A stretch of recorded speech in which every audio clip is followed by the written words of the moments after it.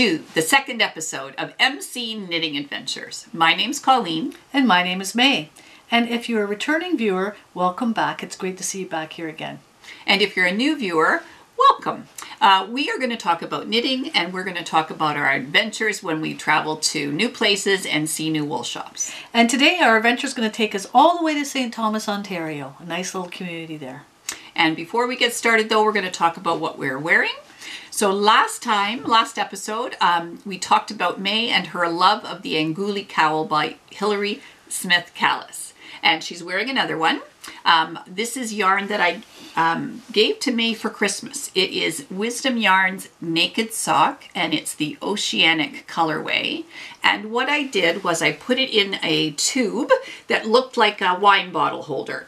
And I gave her the yarn. You tried to, to trick me. I did try to trick you, and I did a little bit, so Yes. it was fun. And so, what I did in giving her that ball of yarn, um, I said to her, You have two choices. You can either have another cowl, or I can make you a new pair of socks. And she decided on the cowl, and so there it is. I love it. Another another great knit that you did. I love the colors. They're so vibrant and uh, it just brightens you up. Yeah, and I so think it feels nice against your skin, too. It does. It feels great. feels very good. A lot of compliments on this one too. So thank you again, Colleen. You're very welcome. And for myself, I'm wearing the Atwood shawl, and it is a pattern by Nicole Clarke. And some of you will know her as Hue Loco. She is a yarn dyer, um, and she's a lovely lady, and um, the pattern is brilliant. So the yarn is Zen Garden uh, Serenity 20, and it is 70% superwash merino, 20% cashmere, so it feels lovely. Oh, that's And- why it feels so good. and 10% nylon. Now, the one thing I want to mention about this, this is one of the very first things I did um, with more expensive yarn.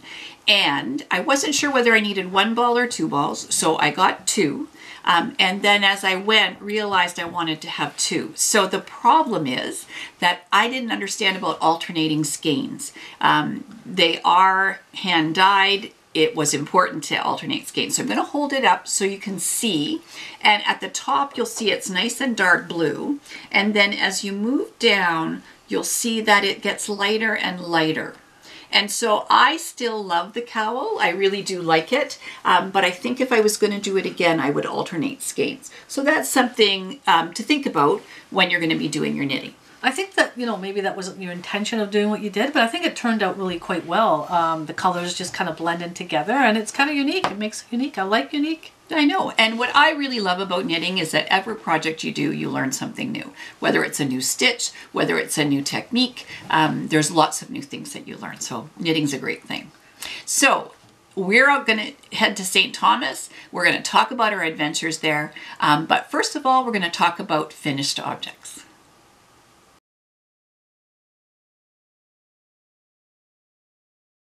All right, so we're going to talk about finished objects now. And so we have a few on the table we're going to work our way through. First of all, we're going to talk about this. Um, it is a basket weave cowl. It's a hack of a pattern by Stacy Kietzer. I used Charisma from Michaels. It, um, the pattern itself is free on Ravelry. It's for a long cowl that you would loop twice. And I just wanted May to have something that was easy to pull on over her head. And so I finished that started it last and it didn't take too long to And do. it keeps me so warm. I love it, and I love that it's not really bulky. Like, because you know when you have a winter coat, and you have all that bulk. It's perfect, just perfect. So thank you for that. You're welcome. I'm glad you enjoyed that. Yes, thank you. All right, and on our last episode, I mentioned a project bag that I had made when I took a class at Knit Stitch. And so May's going to hold that up. It's a drawstring bag. So she can pull the drawstrings, you'll see what happens. The bottom part here is quilted. Um, so there's just some quilting lines that you do. Um, you box the corners at the bottom. I loved the class. My teacher at Knit Stitch was excellent. And it really is nice to be able to put your project in something that looks good. So I think I'm going to be making more of those. Yeah, this feels so nice, and it's like like you say, it's got that quilted feel to it. It's thick, and I think it will stand up Like when you stand it up, it stands up. And you Absolutely. can put your knitting in there. Yep. And the other thing you can do with a drawstring bag, and a lot of you will know that, is that you can flip it over. It looks like this, and then you have basically a bucket, and you can knit right out of it with no Oh, problem. Oh, look at that. That's great. That's fantastic. It looks Great good. job. Yeah. Good so I really like it, and I'm, as I said, I'm planning to make some more. I bought some more fabric over the holidays, and I'm going to make some more with it. Great. So that's good. All right. So the next um, finished object I'm going to talk about is something called a Channeled Colors Brioche Loop and Scarf pattern. It's by Marcy Drew. Um, it's free on Ravelry, and it is a brioche scarf. So It looks like an accordion. it looks a little bit like an accordion. So the way that this works is you have a main color, and that's this dark blue, and that is Ultra Alpaca, Alpaca by Berroco. All right, and that's the dark blue. Uh, it's 50% superfine alpaca and 50% Peruvian wool. It's a little rustic. I haven't blocked it yet. I think when I do that, I think it's going to make it a little softer. So that is the color that's the dark blue. And The contrast color is Schoppel um, Passion for You Ambiente. I'm hoping I'm saying it right. So that's the yarn, and it brings the color in.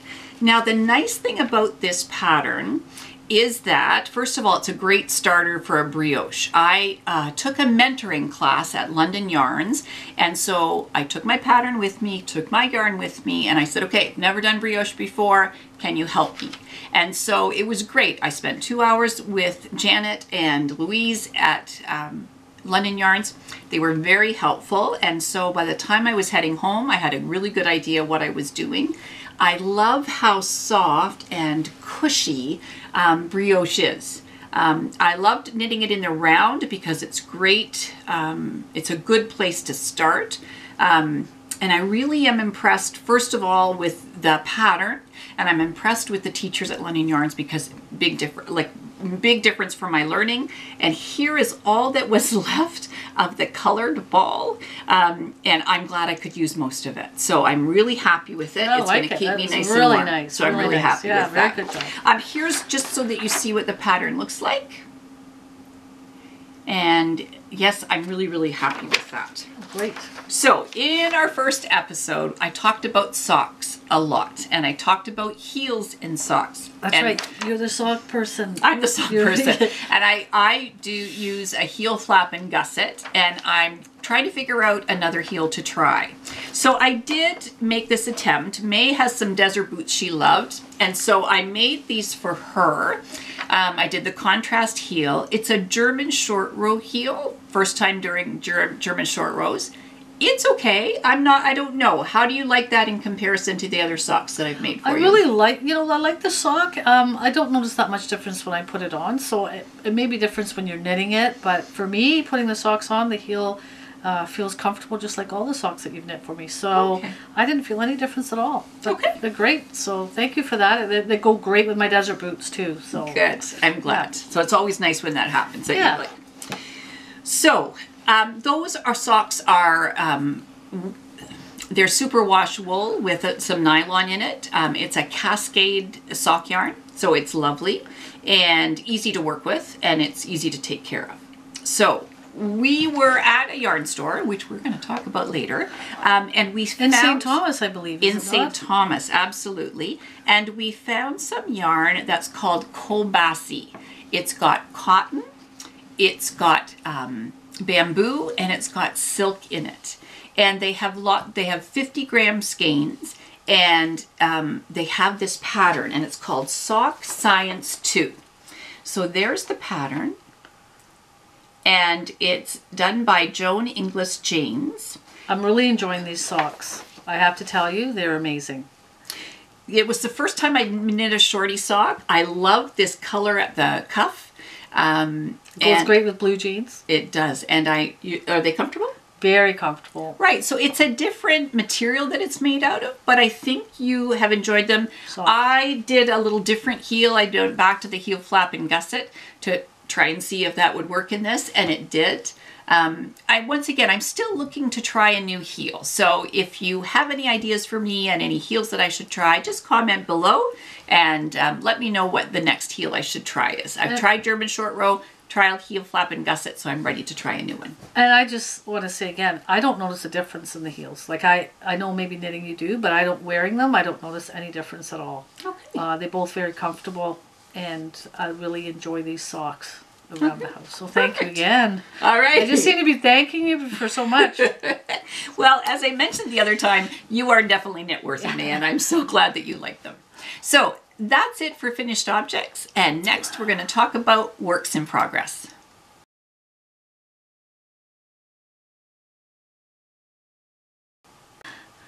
All right, we're going to talk about works in progress. So the first thing I'm going to talk about, I had done a lot of knitting for Christmas and had made lots of socks. yes, you did. So I thought I'm just going to make something for myself. And so I decided I wanted to make Semplice mitts. I think I'm pronouncing that right. Um, so it's a fingerless uh, mitt, and I had purchased some of this yarn. It's called Simpli Cria by Hikoo, and it's 100% baby alpaca. Oh my goodness, it is so soft. So it comes in these little balls. This is the Spring Meadow colorway, and it is so soft and so It is. Squishy. and- fantastic. oh my goodness, I wish you so could beautiful. feel this. I wish you could feel this. So May, if you want to put what that one on just Oh, to try. nice. So that's how it comes out. I've got, I guess we could call that a hoe, but that just seems wrong somehow. but that's what it is. It's a half finished object. And I've got the other one on the needles. So I'm really liking it. I have to tell you, it is really slippery. It'll keep you warm though. Yes, it'll be nice and warm, but the yarn itself is really slippery. So I found when I started the first one, I like to use metal needles, and I thought perhaps I could use bamboo. It might have been, been a little bit better. Part of the reason that I'm using these metal needles is because I was having some difficulty last year. So last year I was knitting so many things, and I found that I hurt. I um, What did I- they call that? What happened to your thumb? What is, is there they, a name for that? Yeah, they called Trigger it thumb? trigger thumb. So I had to not stop knitting, but I had to um, not knit as much. And oh my goodness, I realized how much it's a relaxation and a meditative thing for me, and I really love to knit. There are studies out to say that uh, knitting has uh, reduced people's blood pressures Oh, that's good. and anxiety, reduced anxiety. So there Okay. are, I mean, you're not wrong in saying that it is meditative and it is uh, health wise, it's supposed to be good for you. So- Exactly. So when my thumb was sore, I was trying to figure out, okay, how am I going to get this better? So I tried not knitting for a little bit. I tried knitting for 10 minutes. I tried doing all kinds of things. And I ended up um, finding out about cubic needles. So they are square. Um, and what that is Probably meant to see that on do, yeah, it's hard to see. Maybe I could hold it a little closer Right. for you. So that's what it looks like. Mm-hmm. I'm not sure if you can see it. Um, but what it does is instead of having to hold so tight onto something that's uh, circular, like round, that you have a side that you can hold on to so you don't have to hold on quite so tight. And I think it's made a difference to me. I'm now, as you have seen, knitting socks. I'm back to knitting. I still can't knit quite as long as I used to, but then probably I shouldn't be knitting quite as long as I used to. But to. you know so- what? Um, every time that you use these square needles, you always say, I, you appreciate them. Every time you always say, I love these square needles. Yes, I absolutely yeah, love them. So if anybody that you know has trouble with arthritis or problems with their hands, it's something to think about. So these are the Nova Platina cubics. Um, and when I get birthday money and Christmas money, lots of times I will order some. They don't have them in all stores. I was going to say, where do you buy those from? Um, there's a store in Toronto that you can get some from. Um, that is Romni Wool. Um, we're going to talk We're about do that. that. was one of our one of our ventures. Yeah, so- we're going to go to that one. Right. So there's that, or you can order them online. Um, Webs is that yarn store um, in the states, and I've ordered from there, um, and they come fairly quickly. And um, I really have appreciated them very much. And as May says, every time I say, I'm Right, still using do. them. You're very appreciative of those needles. Absolutely. So that is my Semplice mitts, and that's my cubic needles. Great job on those. Those will keep us warm. This uh, Ontario, London, Ontario weather is very cold. So Yeah, right now put this even cold. under a pair of gloves or a pair of mitts. Golden. I think that will Yeah. work. All right, so back to the world of socks. Um, I had shown um, May's shorty socks. That's that Sock Science too. And um, we have a friend who um, we thought we'd make some short socks for too. This is called Bernat Sox. It is acrylic nylon, and once again, sometimes when you're making socks for somebody else, you want to um, use yarn that they can throw in the dryer, throw in the washer. I see you've used that heel again. Yep, You heel really flap like and gusset. Like I do. heel. I like Nice. that one, but I'm I'm willing to try a new one. Just gotta find Okay. it out. I love how this works. It's a knit one row, purl one row, so you actually get the garter stitch.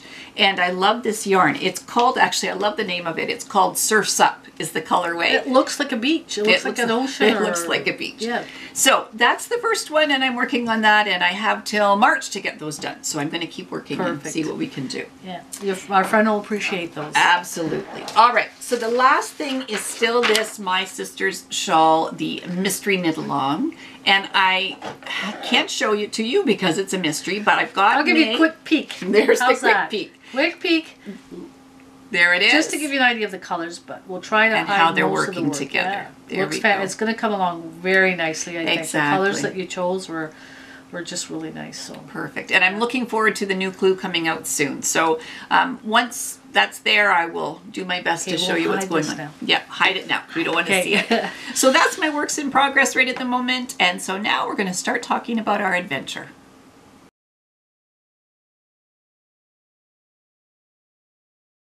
Today we're going to be talking about our adventure that took us to St. Thomas, Ontario. St. Thomas, Ontario has a population of about 40,000 people, and the neighboring uh, town is Port Stanley. So you cannot go to St. Thomas without going to the neighboring town, Port Stanley, which has a population of about 2,000 people. But in the summer, I'm sure that number goes up very, very large Absolutely. because That's right. uh, it's a little uh, beach town because uh, it it's on Lake Erie. I believe this is the lake it's on, Yes, right? it is, Yes, yep. it's on Lake Erie, and uh, it has a lot of little restaurants. And we've actually ate at GT's right on the beach. That's beautiful there. Uh, yeah. Lots of cottages. There's golfing. Uh, they play volleyball on the beach. It's been a, we had a great day when we were there. So in the summer, of course. In the Um, summer. yeah, um, it's only about twenty minutes from St. Thomas. I know. so- and the road between Port Stanley and St. Thomas, what's there? Oh, ice cream. Shaw's ice cream. Yes. we never we never go to uh, St. Thomas and Port Stanley without having to stop at Shaw's ice cream. So, And what's your favorite? uh, I usually get um, you know, with toffee in it. I think with toffee in it. Pralines and cream. What do you think? Yeah, I think. Yeah, I think that's what we like the best. Yeah, Okay. That's what it is. Now, also, you can't go to St. Thomas without talking about Jumbo the elephant. In 1985, the Barnum Bailey Circus, uh, they were, I don't know how it ended up, but the the elephants ended up on the railway track. And unfortunately, Jumbo was killed by an oncoming train. Uh, there is a documentary coming on CBC that's called The Nature of Things, and it is hosted by David Suzuki. And they're going to be looking uh, about Jumbo's bones. They're going to be looking in further to that. Now, they did have to get the bones from a museum in New York, and they're going to, you know, probably take DNA. I'm not a scientist, but I'm sure they're going to take some Wow, DNA and see maybe what really happens. interesting Yeah, it's going to be really interesting. So, um, after about 100 years, in 1985, they erected a large uh, monument of Jumbo, and that's the first thing you see when we come into St. Thomas for the way we come in. And exactly. you- You've taken some great pictures. Yes, so you can see pictures when you see them at the beginning and at the end of our uh, podcast. Uh, well, I guess the crew that was doing this filming, they um, when they went to get the bones uh, from the New York Museum, I guess they went silent just because the enormity of them. They were they were massive, and also they had a moment of reverence. It was, I guess it was quite something, yeah. So it'd be interesting to watch that. So it's an interesting story. Uh, also in St. Thomas, they have a water park. Water. We went there this summer. It was absolutely awesome park. It had a little uh, Waterworks Park. Waterworks Park. You're, you're also good with the names. I like that. I appreciate that. problem. and it was a great park. It was a very steep hill going down to that park. Uh, you, I don't know if they'd want to go there in the winter. Well, I know we wouldn't. Maybe a lot of people probably do that in the winter. Right. But it was a very, quite a very steep hill down to that park. But once you got down there, it was absolutely It's beautiful. There's lots of plants. Mm-hmm. They take really good care of it. Um, and there is the splash pad and water time for the kids. So Right. it's good. Right. So, also uh, in St. Thomas, there is a place called Quai du Vin. It's a winery that we have gone to on several occasions. They do weddings and they do um, tours, wine tours, and we've gone there for a nice brunch uh, outside in the gardens. Uh, you know, and also about four or five times a year they have uh, concerts, and they brought in some people from Detroit. They have a Motown, and they have a dance floor. It's probably about an acre big. Um, and it's massive. And you sit out there with your umbrellas, and you bring in some food. You're allowed to bring in all your own food, and your picnic, Right. and your lawn chairs. And you can buy your wine and beer there.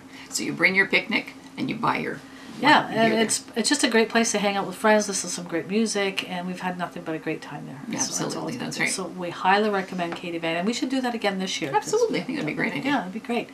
Uh, also in St. Thomas, coming up uh, is a Railway City Arts Crawl. That's what they call it, the Railway City Arts Crawl, and it's February the 23rd to February the 24th. And uh, lots of different venues. Then you buy a pass and you go around uh, the city of St. Thomas to view different arts and different parts. Now, is the Little Red Mitten part of that? No, absolutely, the Little Red Mitten is totally part of that, and it, that that's something I'm glad you brought that up. That's very good. Yeah, and so they will be there. Oh, perfect. Yeah.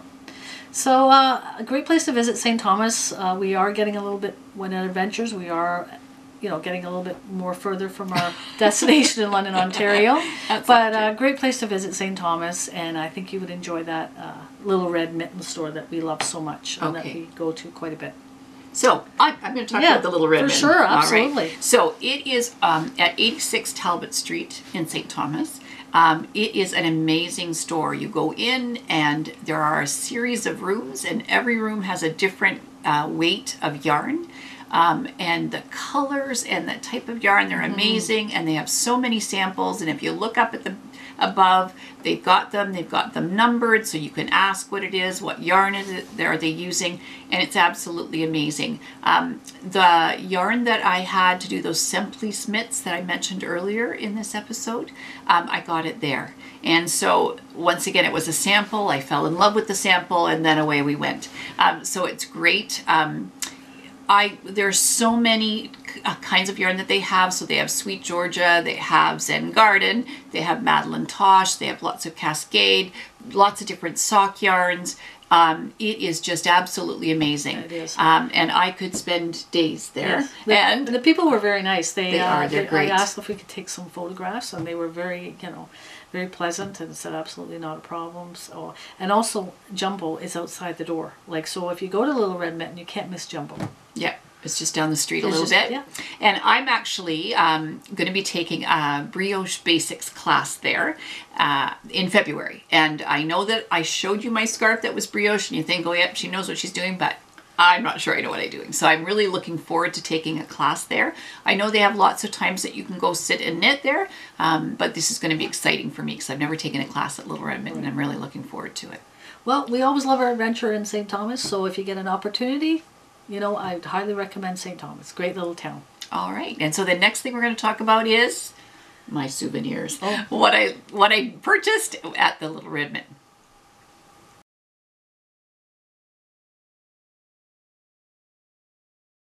We're going to talk about um, my souvenirs. We could call that retail therapy. We could call it acquisitions. Um, Stash. Don't they call that a stash? well, I'm building a stash. I'll put it that way. So, um, if you recall the socks that I made for May, actually they're right here, so I'm going to hold them up. So these socks were made with that CoBaSi, and um, I love those socks. And I bought enough yarn so I could make a second pair. So the light blue I bought enough, and the dark blue. And what happened was May's mum really liked the socks, and so I decided that She for did. Christmas I would make her a she pair. really liked them. Yeah. So I made them very much the same as May's. I changed the stripe pattern up a little bit, but I did. So when we were in Little Red Mitten, I thought, okay, I'm going to go and buy myself some yarn and then I can make some socks that are similar. So we have already established that purple is one of my favorite colors. Yeah. And so when you see this, you will not be surprised. So what I bought was purple and black of the CoBaSi by Hikoo. Um, black is the black colorway. The other, the purple one is called Violet. Um, and so what I'm going to do is use a little bit more of the purple, and I should be able to get a pair of shorty socks for myself. Those will be nice. I Those know. will I'm really nice. looking forward Yeah. to it, and those colors are great. So I really, And really it's nice that that. you're making something for yourself because you don't often do that. Colleen often makes um, things for everybody else and forgets about herself. So I really, I'm really glad that you're going to do that for yourself. So the other thing that I got, because I don't always just buy yarn, is I got um, two of these. I'll let you hold that one. And so I got a black one and I got a brown one. And what these are are um, it's by Jul, and the designs are that there's a screw on the back, and then there's a piece of leather for front and back. And what you do is you basically put it on your shawl to hold it place. So it's like a shawl pin, but it's a little bit more funky. So I was sometimes I wear things that go with black, sometimes I wear things that goes with brown. This one's called chestnut, and so that's why I purchased those both. Now these all come from uh, Little Red Mittens. Yes, correct? absolutely. Everything that I Okay. was going to see will has come from Little Red Mitten. All right. Nice. So those are something a little bit different, but I'm looking forward to using those. So when we were there over the holidays, um, and the weather per- held, we had a day that we could Yeah, go, a and it was day. perfect. We had a fun day. We always have fun when we go on these adventures. It's fun. So there was a Koigu scarf pattern, and it just required one skein, one 50 gram skein of yarn. And so Maeve chose this color, which is called plum. Nice. And usually that's the color I choose, but I think that's going to be good for her. I, it'll be beautiful Yeah, on nice, you. yeah. So the scarf is basically it's a 36 by 18 inch and it's a triangle and then it'll just be a knot at the back so not too much bulk for me as we've talked about she doesn't like that. And then this is mine. It doesn't have a colorway name um, but it's got blue and purple and black and gold and it's got all kinds of colors in it. So I'm looking forward to that. I'm going to make myself and one I think you those look great well. in that. I think Yeah. great. So that's what that's going to be. Nice. All right. So um, this is a surprise for May, and she doesn't I see know there's brown anything hanging about up. this. so take a look. See what you have. Oh, nice. That'll be fantastic. I love that. Good. So you, those shorty socks that she loves so much, I managed somehow to be able to purchase that without her Oh, knowing. Oh, nice. And so I'm hoping that you'll really like those colors. I will really like those colors. Thank you so much. You're very welcome. Wow, look at look at this. That's a stash. there you go. All right, and the last thing we picked up was some Ultra Pima cotton. It's Cascade, and it's nice and soft, and I'm going to explain to you why we did that. So, um, one of our good friends um, ended up last year with uh, breast cancer, um, and she had to have a mastectomy. And um, so I knew that she was going to be needing something to help her. And when I was in um, one a yarn store, they I saw this, which is called Knitter Knock knittedknockers.org. And so what it is, it's a knitting pattern to actually make a yarn prosthetic so that um, on the side where you've had your breast removed, you can put in this um, knitted knocker is what it's called. So sometimes when somebody that you know and love is having difficulty and you don't know what else to do, I knit. Yeah. So it's the first time ever in my life I've knit somebody a, Breast. a breast, and I did. And what the feedback was was it is light, it's comfortable, it's soft against the skin. There are a number of stores in the London area that are depots for knitted knockers.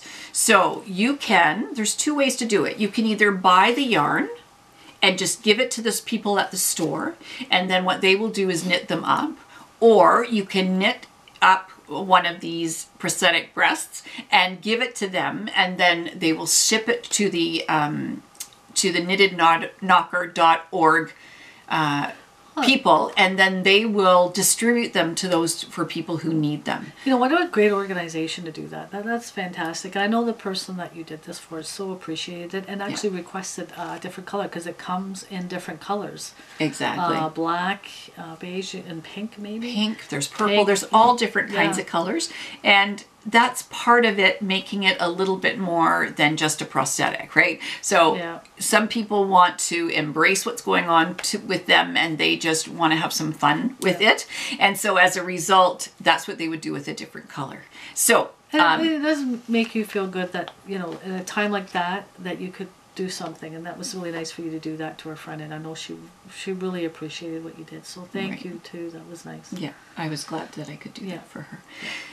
So if you have time and if you so choose, you can go on to www.knittedknocker.org, knittedknockers.org. Um, I'll put that in the show notes and you can go on the site you can get the patterns. There's a crochet pattern there's a double pointed needle pattern there's a magic loop pattern there's all different ways of doing this.